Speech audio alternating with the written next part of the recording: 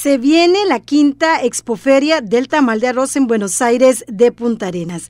Del primero al 11 de diciembre se tienen previsto la organización de una serie de actividades a cargo de la municipalidad de este cantón y en apoyo de la Asociación de Desarrollo Integral del Distrito de Buenos Aires.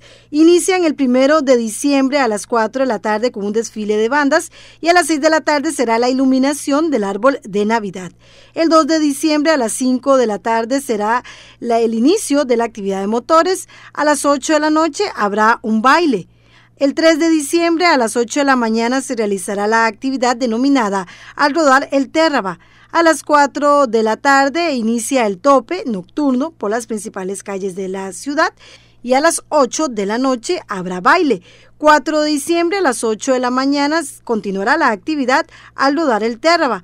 A las 9 de la mañana se realizará la paliatón a cargo de la Fundación de Cuidados Paliativos. 5 de diciembre a las 8 de la noche habrá baile. 6 de diciembre, 6 de la tarde, cine para la familia y a las 8 de la noche será la noche de villancicos.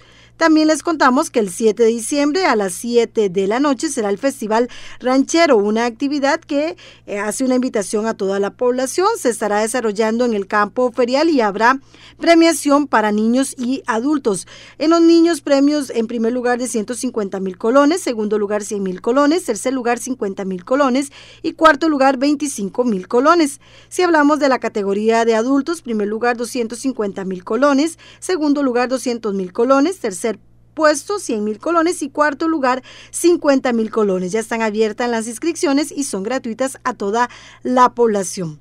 El 8 de diciembre será la noche cultural a partir de las 6 de la tarde. Y el 9 de diciembre a las 8 de la noche será el concierto.